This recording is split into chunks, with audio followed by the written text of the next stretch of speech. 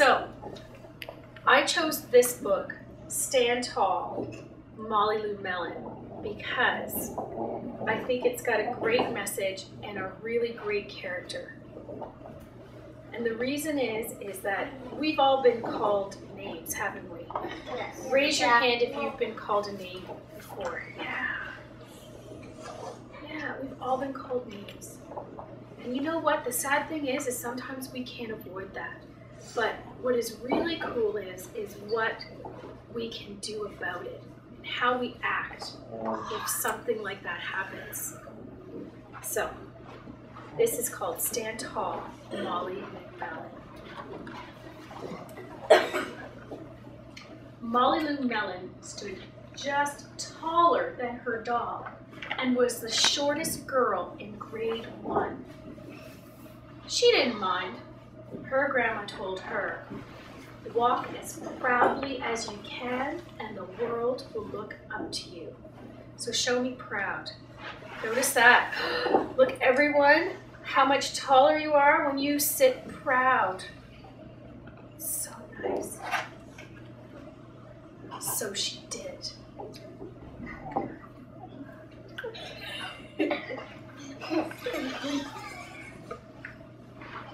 Molly Lou Melon had buck teeth that stuck out so far she could stack pennies on them. She didn't mind. Her grandma told her, smile big and the whole world will smile alongside you. So she did.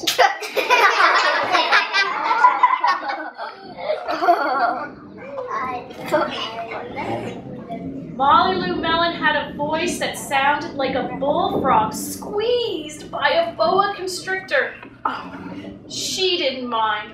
Her grandma told her, sing out clear and strong, and the whole world will cry tears of joy. So she did.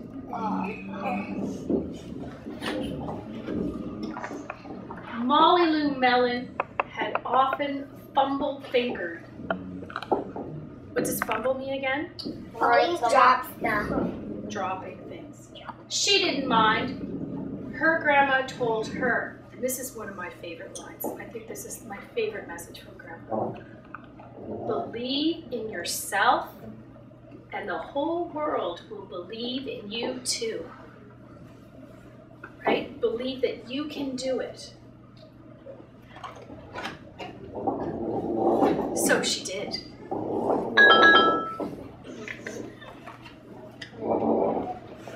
Then Molly Lou Melon moved to a new town. She had to say goodbye to her grandma and all of her friends.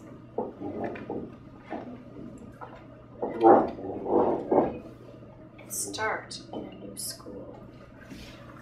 Oh, what do you think's gonna happen? What's gonna happen? Ian, what's gonna happen? Uh, she could do all the things that her grandma said. She's gonna do all the things that her grandma told her? Daniel? Uh, the people in her new school will call her names, so then she can just call them names back or something.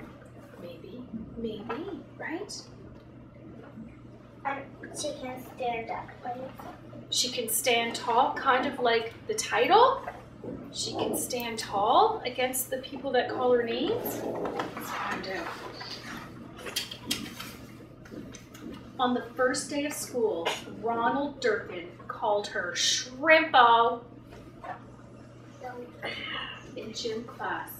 When the game started, Molly Lou Melon caught the football, ran under the legs of Ronald Durkin, and scored a touchdown. All the children thought, wow, she's good. And Ronald Durkin felt foolish. She showed him, eh? She showed him that, you know what? I might be Shrimpo, but I can get a touchdown. On the second day of school, Ronald Durkin called her Bucky Tooth Beaver.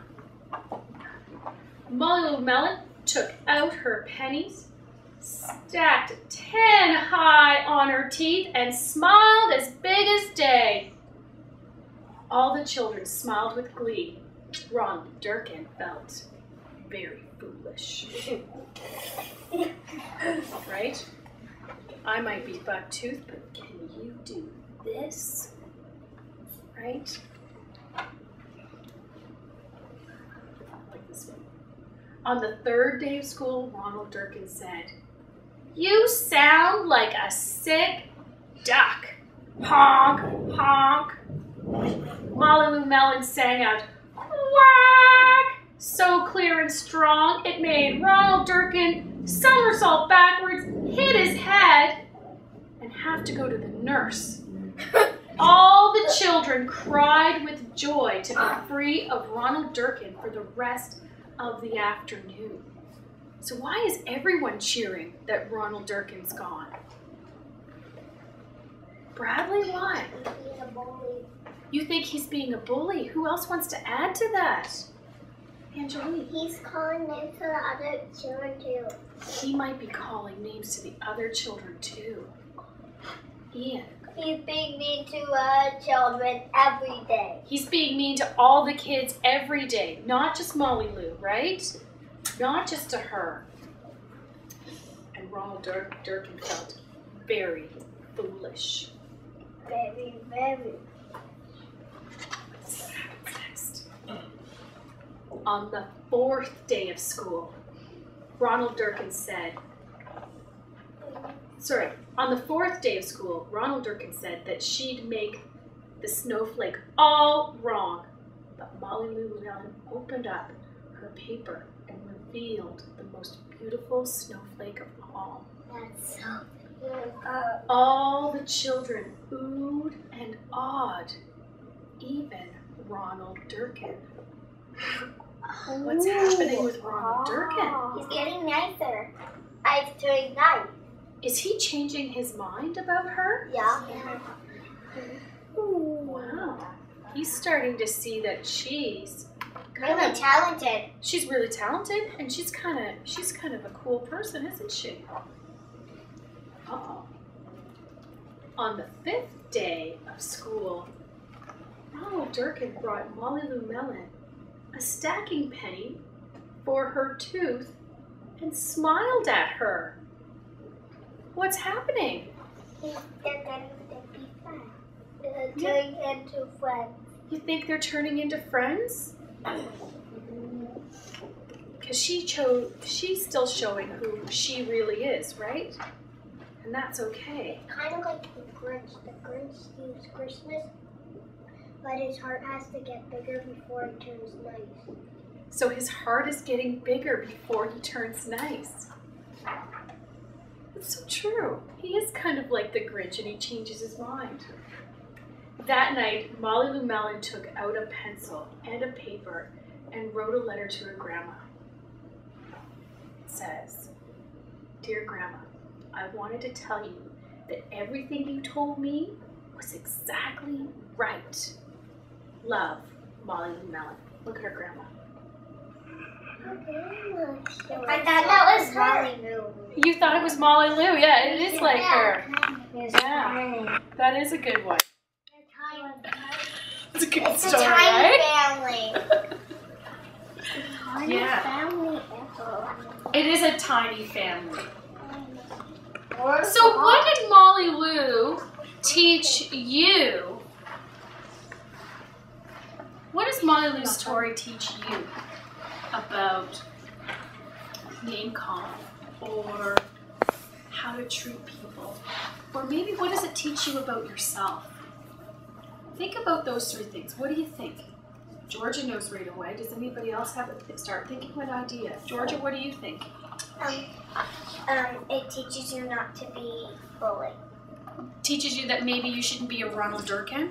Why? Why shouldn't you be a Ronald Durkin? Because then other people um will like you and won't want to you. It's yeah, you're not making friends with So, anyone, are you? um, the way you treat people um, they'll treat you back the same way.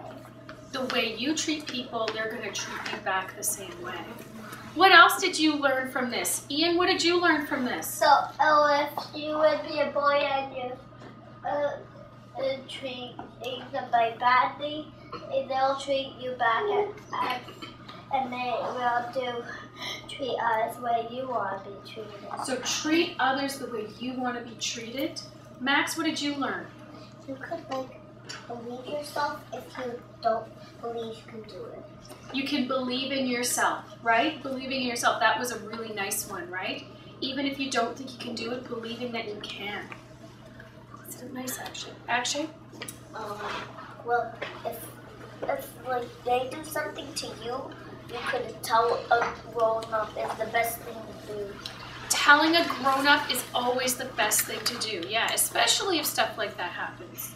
Didn't do you think Molly Lou told a grown up about some of these things? No, no. So how did she deal with it? She figured it out on her own. But how did she figure it out? What did she, She do? never gave up.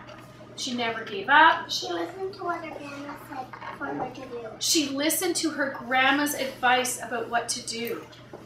Ian, Uh, they showed uh, uh, what him and that it, he can do stuff that uh, boys can do. she she proved to the bully what she can do, right? Yeah. Yeah. That what She he says doesn't bother her, right? What he said doesn't bother her because she can believe in herself. Great job.